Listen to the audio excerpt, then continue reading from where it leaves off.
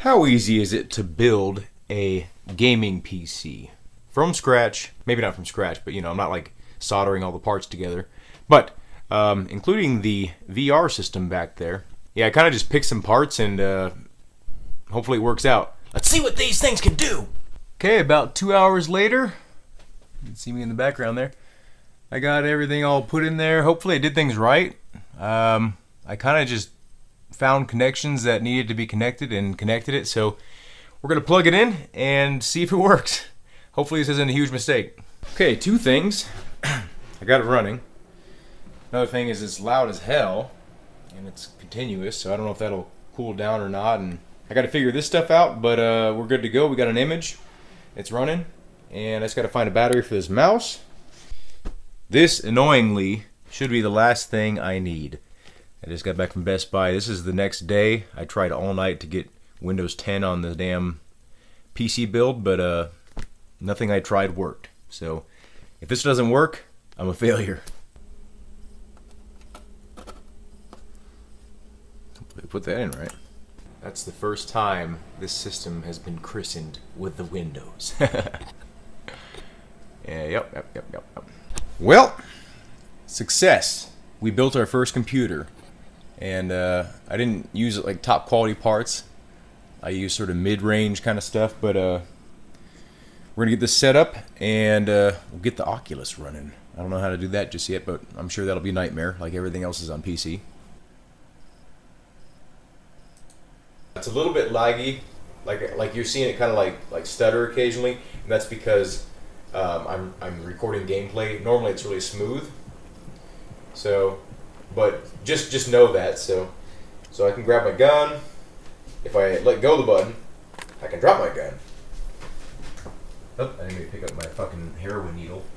Okay, so, um, yeah, it's just just like um, handling in real life. You know, if I want to like give give extra support to the the gun for recoil management, you know, I, I, I have to grab it with my other hand, you know, like, um, and as soon as I let go of the button, it lets go. I can set it to where uh, it, it, it, just like latches on, or even if I just raise my hand up, it'll, it'll latch to it.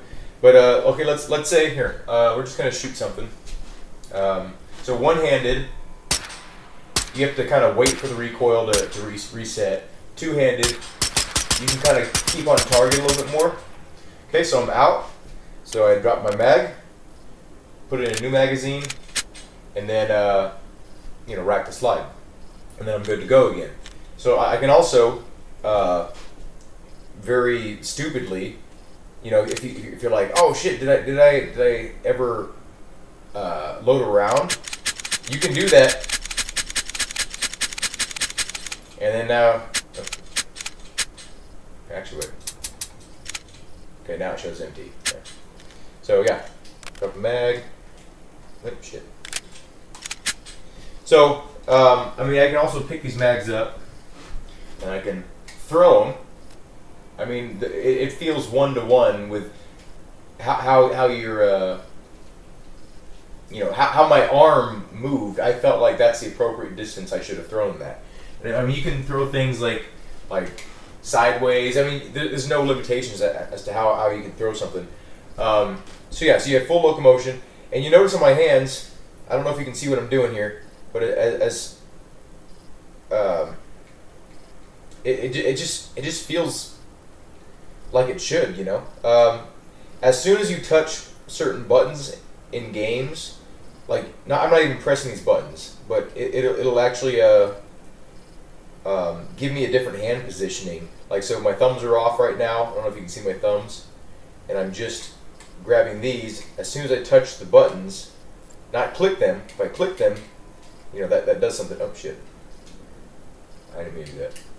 If I click them, you know, it does something else, but it, it's, it's that sensitive. So, I can flip my side up, and, uh, you know, grab my forearm, not my forearm. so with this gun, you actually have to, before you can even fire it, you have to um, load the rounds in so it's really cool. Anyway, let, us get to some uh, shooting here. The only thing I kind of don't like about this game is is there's a little bit of wobbliness between the two controllers, and you can you can set smoothing on so it's uh, less wobbly. but um, it's just it's not as intuitive as it would be if this was like a solid object. You know, there's two different objects in my hand. You know, and and it's free floating, so it, you can get pretty close and, and but I mean it's just kind of odd. They have some options to like lock it to your shoulder and you know uh, different comfort options, but we're not we're not going to get like super deep into this. I, I just want to show you like like all the things you can do. I mean, let, let's say I oh, shit. let's say I ran out of ammunition, you know, and I had no guns. I could throw my guns in the ground, all my grenades and whatever, and put my hands up, and you know I could literally surrender. Not like in a single player game, like where it's just AI, but like in a multiplayer game, you know, they, would be like, okay, well, let's not kill this guy. You know, um, it's very realistic in a lot of ways. So let's uh, just now I'm not sneaking around, but I mean, like, so you can see right now I'm running, right? Like, so if my my gun's down, you know, if it's up, like I start walking slower. I have it set to where I can just sprint by pushing forward on the stick rather than clicking the button. But um, so yeah, so if it's my gun's down, I can run, and then I, I mean I can get on the ground. I mean I can I can literally get prone and, and get on there. There's a uh, I can do my bipod and, and actually uh, get extra stability.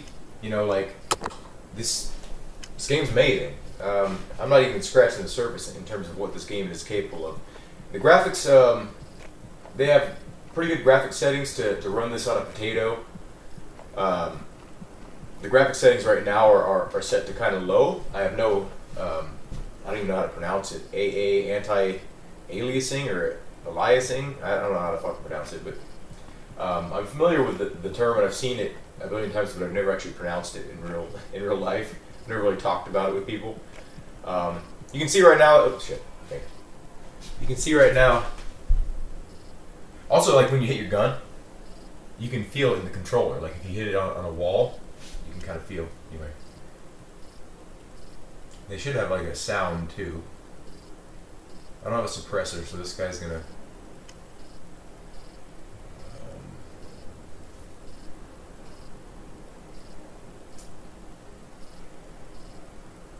switch my pistol here.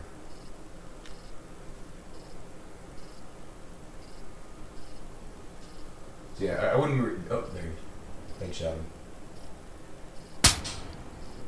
Oh, he heard me. Said, "Jesus Christ!"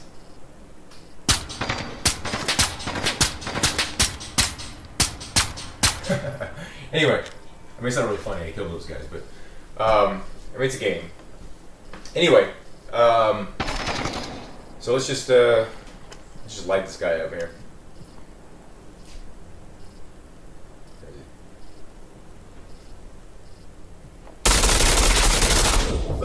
okay, as th- that was one of the, the, the drawbacks of having free floating things. Like if I, if I had shouldered it, I could get it on sight, and then that would have been much more accurate. But anyway, that's kind of the limitation of having two independent uh, controllers.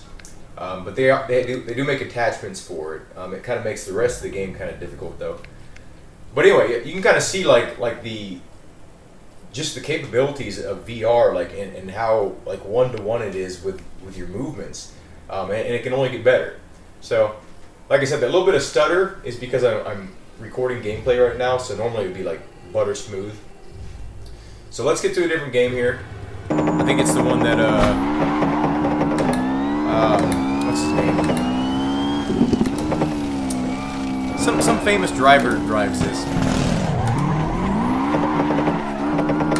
Um, he's actually, he races for Subaru again.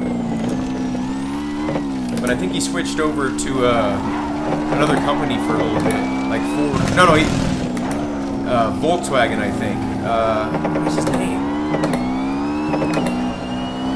I can't think of it. Um, so the gravel physics in this are 100% like uh, made up, but it feels it feels appropriate. I mean, you can see I'm, I'm able to. Oh, I didn't mean to do that. I'm able to do what I want to do in terms of uh, handling the car and it feels natural. Got to cut some corners here, but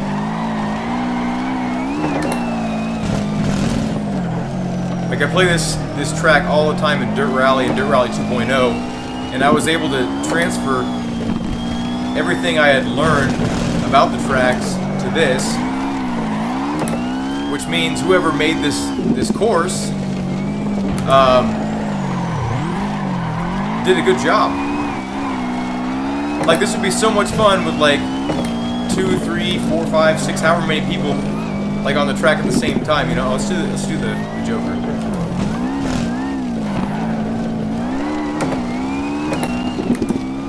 Joker almost feels faster than the normal normal fuck the normal corner.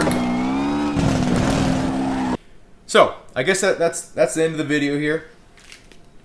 I think this gives an, an accurate representation of the, the future possibilities and like once I get like certain things figured out like uh, you know graphic settings and just modifications I can do to the games themselves um, you know th- this this experience will, will only continue to grow and you know expand my horizons on what I can do with these racing games these VR games and and just, just games in general. I, I can hook up any controller I want to this PC and, and play you know console games too like uh, I'm not going to get into pirating games or anything like that, but that I mean that is a possibility. Um, it's a really open source system. Have a good day. Thank you for watching, and I hope to see you in a future video.